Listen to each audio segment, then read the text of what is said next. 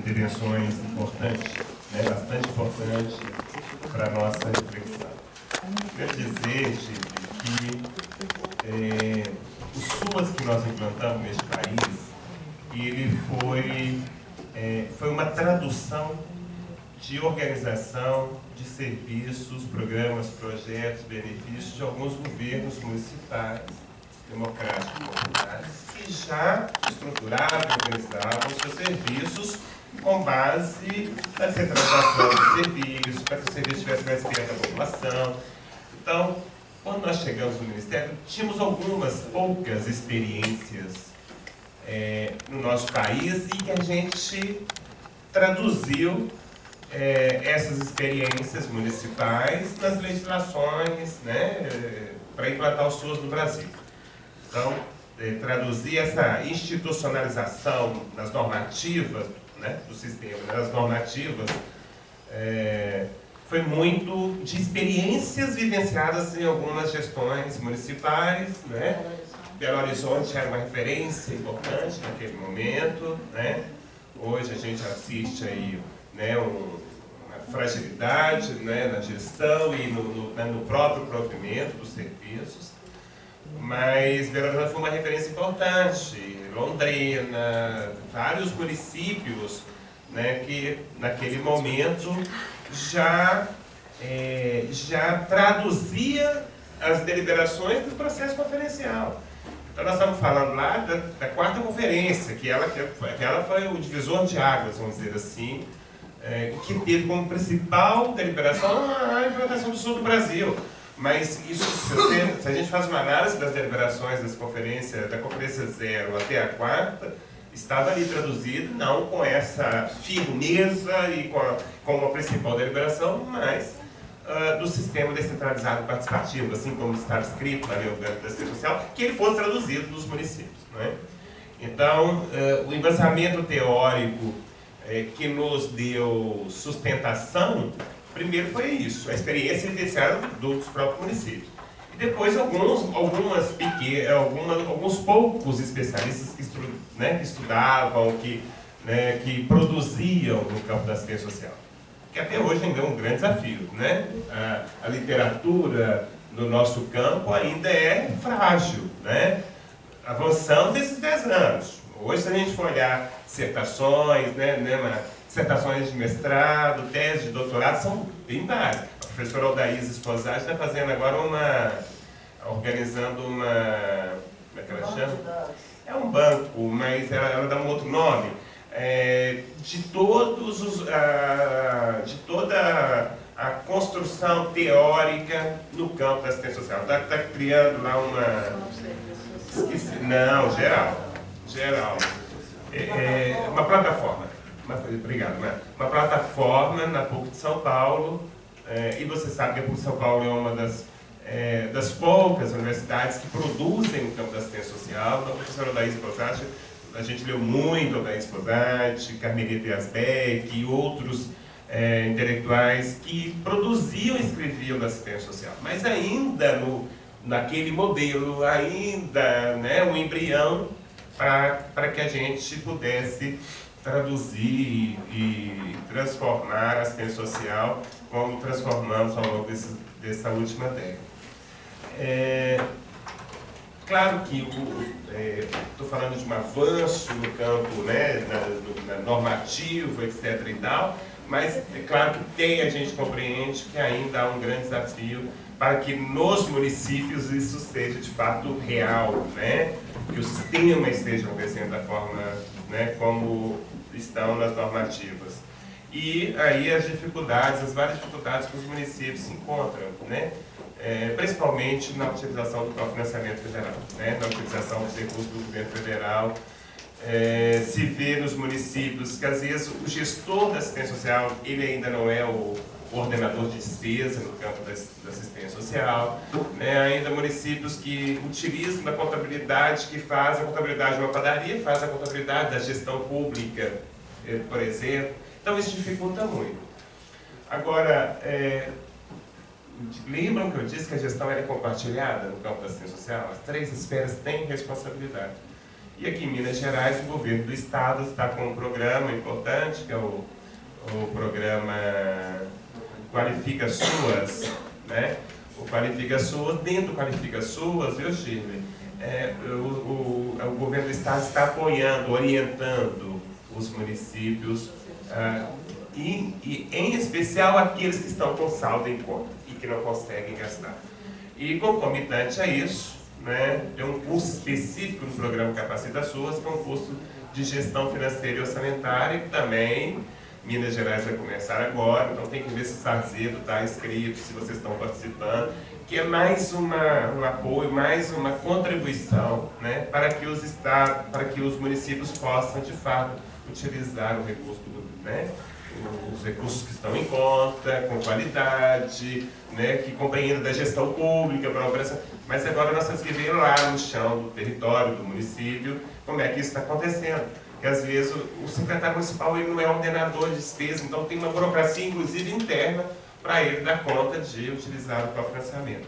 Então essas questões nós temos que estar olhando. Então nós estamos aí, o Estado está com um programa importante para orientar e apoiar, que essa é a função do governo estadual o governo federal não tem perna para estar em todos os municípios. O Estado tem essa função de apoiar, de monitorar, de avaliar, de apoio técnico, de capacitar, de qualificar, de estar junto com as equipes. Né?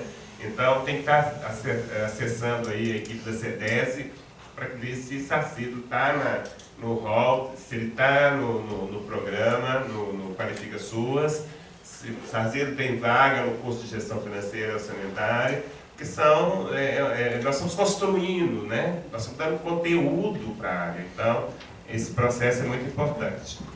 É, nós colocamos no plano decenal, porque um grande desafio é a interinstitucionalidade, a interinstitucionalidade como uma estratégia de gestão, não só com as políticas setoriais, públicas, sociais, mas também com os direitos humanos. Então essa é uma discussão também, uma meta que a gente colocou no plano decenal, porque essa relação ela tem que ser mais azeitada, estreita no município. Né? Às vezes, a própria Secretaria Municipal de Assistência Social é onde estão os conselhos de defesa garantia de direito, enfim. Então, essa relação, né, a investiduralidade, ela não pode ser é, porque eu conheço o assistente social lá da, de uma outra área, por isso eu tenho acesso, mas ela tem que ser, de fato, uma estratégia de gestão. Né? Nós temos que traduzir isso em protocolos, nós temos que, é, no município, tentar estreitar essa relação, né, pra, porque ela é essencial e necessária aí na garantia, defesa e garantia dos direitos, que é uma função que é do campo da assistência social. É,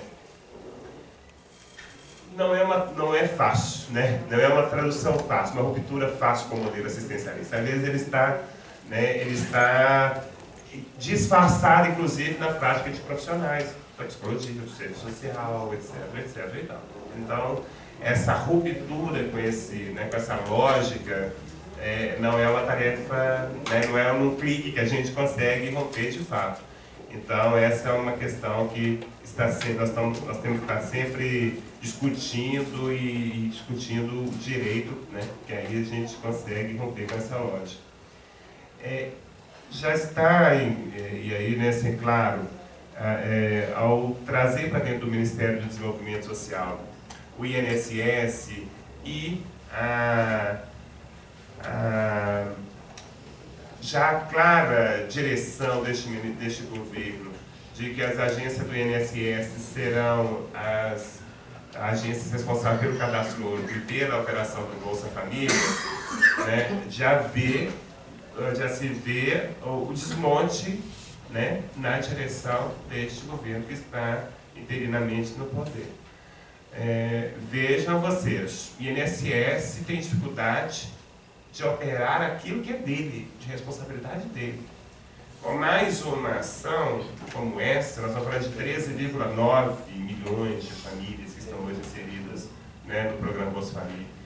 E isso é dizer não a, a esse direito, à segurança de renda que é do campo da assistência social. Por quê?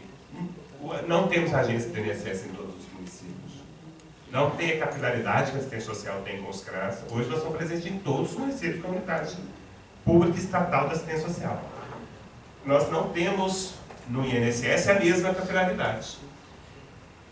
Do, da forma como está, ele já tem dificuldade para com as, as suas atribuições. Então, isso é dizer não, porque isso vai dificultar o acesso da população ao, ao, ao benefício. Né? A população vai ter que sair de um município para ir para outro. Então, vejam que é a tentativa de um desmonte. Já tem um anúncio que eles é, colocaram, que é a focalização do Bolsa Família para 5% dos mais pobres.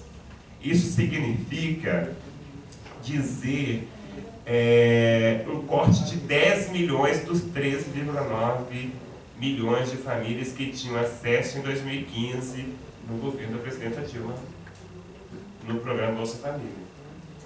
Então, é, é, porque eles estão com, tentando criar alguns indicadores para dizer que dentro dos 13,9 que estão, apenas 5% são extremamente pobres e que requerem do benefício. Ora, nós temos que compreender, compreender a dimensão de proteção que o benefício tem. O benefício garante que a, a família mantenha sua criança na educação, acesso à saúde, tem aí, né, é, na assistência social, né, porque nós articulamos o, o, o, trabalho infantil no programa do Bolsa Família, então tem aí é, uma condicionalidade, condicionalidades importantes para, para a ruptura dos ciclos de vida, de, de pobreza, etc, etc. Então, né? então essa é uma, um anúncio que já foi dado por eles. Ou seja, é o corte aí do programa Bolsa Família. Também, uma outra é, um outro anúncio, no, no, no, nosso governo representativo também isso já estava bem pesado, a gente estava com todo o esforço traduzindo que o BPC ele tem, isso também foi fruto inclusive de deliberação da conferência, da vinculação do salário mínimo ao benefício de prestação continuada para pessoas idosas e pessoas com deficiência. Né? Então, também já anunciaram né, a desvinculação do reajuste do benefício de proteção social, aí do reajuste do salário mínimo. Então, essa é uma outra questão né, que está aí colocado né, nesses vários 40 dias, já vários anúncios e processos já em tramitação. Depois vocês pegam lá aquela PEC 241 de 2016, que foi enviada pelo governo, é, por esse governo ao Congresso Nacional, que vai tratar do limite dos gastos públicos com os programas sociais por 20 anos. Veja, um governo interino que vai interferir na Constituição para os próximos 20 anos. Então, é, desvincula a obrigatoriedade da, da utilização de, eu não sei a porcentagem da educação, né? 20%, 25% é obrigatório na educação e na saúde 15%, né? 10 municípios, 15%. Estado e município. É, enfim, a vinculação que hoje, porque a nossa briga também, a nossa luta na assistência social era pela vinculação orçamentária. Sempre foi, né? Em todas, em todas as conferências. Agora, o que já está conquistado na educação e na saúde também já está em risco aí. E fora as várias outras é, porque isso é um pacotão. Por isso que eu estou chamando a atenção para essa, essa PEC 241, porque ela é um pacotão, ela não vai tratar só disso. Então ela já vai tratar do BPC, ela trata do Bolsa Família, ela trata das novas regras de concessão para limitação de tempo para acesso ao benefício. Então, assim, são várias estratégias que estão ali dentro dessa, dessa e que a gente tem que estar aí atento e nas ruas e na luta para que a Seguridade Social brasileira, né, ela seja cada vez mais fortalecida, que a proteção social seja cada dia mais ampliada alargada, para que a sociedade possa é, é, lançar mão né, desses direitos duramente conquistados e traduzidos na Constituição Federal de 88 né, e nas nossas normativas aí que a gente vem avançando ao longo dessa última década. Bom, eu, eu, a Débora, né? Eu entrei na prefeitura em 93. Então, eu realmente é, participei de um processo né, de construção da LOAS, do SUAS em Belo Horizonte. E no momento, né, entrei quando o Patrus ganha a eleição. Então, no momento assim, de muita de muita propulsão das políticas públicas, de muita construção, de muita. de muita vontade política, de muito comprometimento, militância e tudo isso foi construído, né? E tivemos no MDS né, uma referência é, importantíssima, porque o MDS garantia a regulamentação, a regulação da política, o financiamento, todo esse histórico aí que o Zé Cruz tão bem nos traz, né, como que foi árduo, mas ao mesmo tempo é, poderoso na construção desse sistema. Então, até hoje nós tivemos né, o, o, a organização do SUAS, a organização do, do, do, do sistema como um todo, do trabalho, muito garantida por um governo, por uma vontade política, né, que nos garantia essa regulamentação, essa regulação, esse financiamento. Né? Hoje nós estamos numa posição de desmanche, de recuo do Estado, né, do ponto de vista do seu, da sua responsabilidade com os direitos sociais. Né? Então, eu, eu sou muito positiva, eu tendo a ser muito positiva, apesar de todo esse contexto.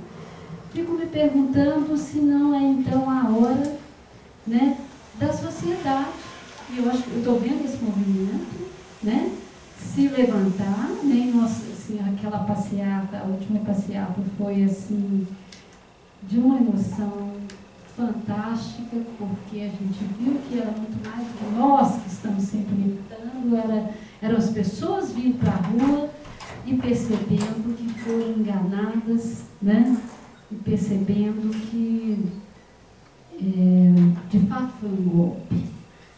Né? De fato, tudo aquilo que justificava é, o golpe, que seria a corrupção, no partido, ela, era, ela é a lógica né, do, da própria, do próprio processo eleitoral. E, e todos estão envolvidos, enfim, é, nada muda com o impeachment da, da Dilma, pelo contrário, da responsabilidade do Estado, em termos do recuo do Estado. Então parece que a população está percebendo isso. Então, eu, eu fico pensando se não é um momento, de fato, de, uma, de um levante da população. Né? Porque nossa população viveu, nesses anos todos, o exercício de direitos e uma democracia que ela jamais tinha vivido em toda a história do nosso país. Né? Então, é algo que, é algo que dá para saber que está sendo perdido, porque foi vivido. Então, fico, fico esperando. Eu fico vendo, né, também acho que tem a dimensão dos trabalhadores do SUS e dos usuários do SUS. Né? Hoje a gente tem um sistema forte, consolidado, constituído, né, que está em risco, está constituído. E é, acho que é o momento. Temos hoje né, um número de servidores expressivo, servidores públicos. Né? algo também garantido por esse Estado de direitos que foi construído durante todos os últimos anos. Né? Então, acho que, que tem, estamos vivendo um momento que eu também estou vendo surgir no cenário social e no cenário específico, dentro da, da, do campo da política de assistência social, um posicionamento de resistência dos trabalhadores e dos usuários.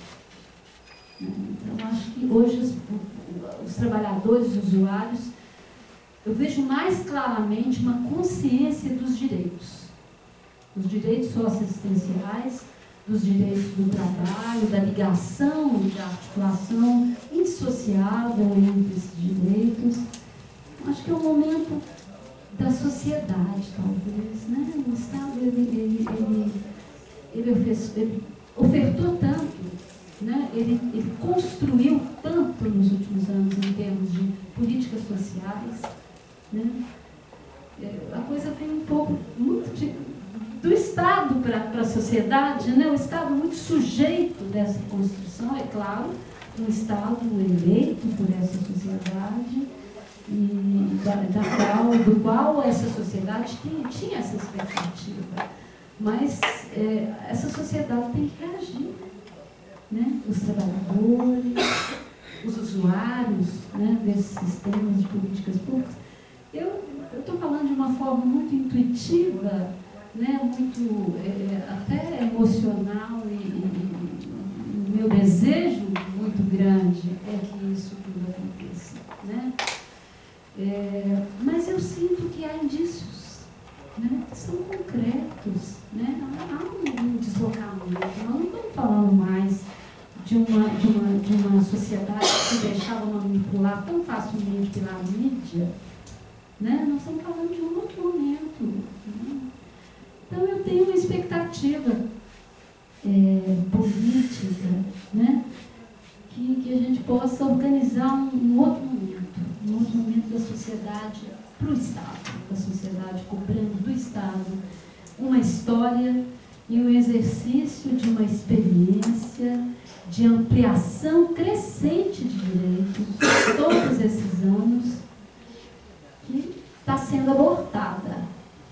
Né? Então, acho que é, uma, é a hora sociedade se organizar, ir para a rua, estar nas instâncias de controle social, e eu falo isso com muita alegria, porque eu vejo isso no Conselho Municipal de Assistência Social de Belo Horizonte.